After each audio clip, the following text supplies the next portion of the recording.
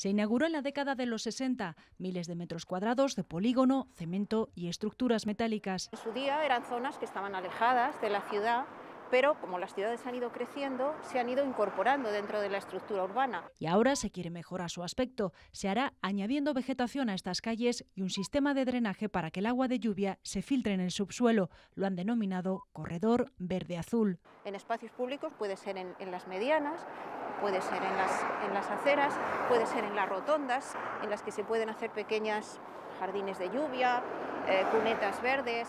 La falta de vegetación provoca que en estas zonas haga más calor y se genere más contaminación. Vamos a mejorar la calidad del aire, vamos a reducir también la contaminación acústica y en definitiva eso repercute en el bienestar de los ciudadanos y de los trabajadores. Para los empresarios aseguran es una oportunidad para mejorar su competitividad.